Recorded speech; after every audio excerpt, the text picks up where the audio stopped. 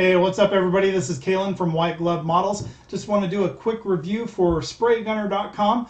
I needed some primers the other day, so I placed an order with them. I went on their website, very simple website to follow, and uh, they have tons of different items um, for your airbrushing needs as well as uh, parts for certain airbrushes, different brands, and all that. They hold uh, tons of different paints and different varieties as well but they also had a really great selection of primer. And one of my favorite primers to use are the Badger products. These are the Stynylrez. I think that's how you say it. I don't know.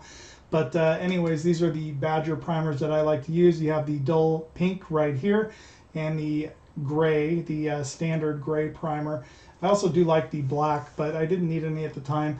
And anyways, I uh, found that they had the best price for the primer that I needed. They also offer it in various different sizes. So you could get the two ounce all the way up to a gallon in certain brands and uh, tons of various options for parts and uh, stuff for your airbrush if you do need parts like needles and different things like that. And they also have a bunch of different cleaners. I ordered some Vallejo cleaner as well.